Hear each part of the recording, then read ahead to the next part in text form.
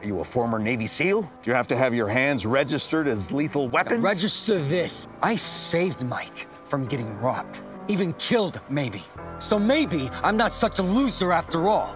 Your first day out guarding Mike, he steps out for one second, you immediately get robbed. You're such an asshole. Keep your friends close, keep your enemies closer. Gus can't kill you because of me. He knows I won't stand for it. He needs me, and he hates the fact that he needs me. So what does he do? Driving a wedge between you and me. If you'd been there, you know it wasn't a setup. How long did those guys chase you, huh? Because the way you describe it, they gave up pretty damn easy. No, this whole thing, all of this, it's all about me.